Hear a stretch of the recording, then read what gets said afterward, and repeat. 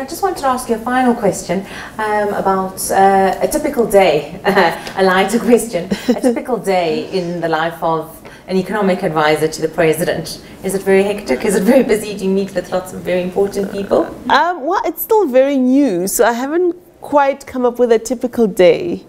I mean, sometimes I think I'm, I'm, about to have a typical day and I plan it out, and then I realize actually I need to be in Cape Town.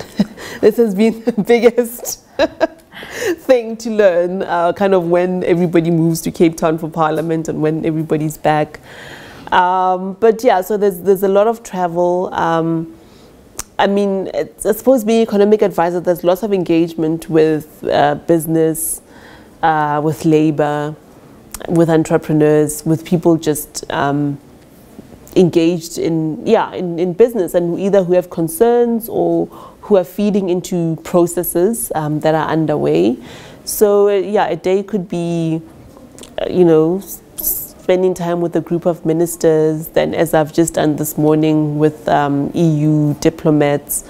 Um, and then doing an interview, and then lots of correspondence. Um, yeah.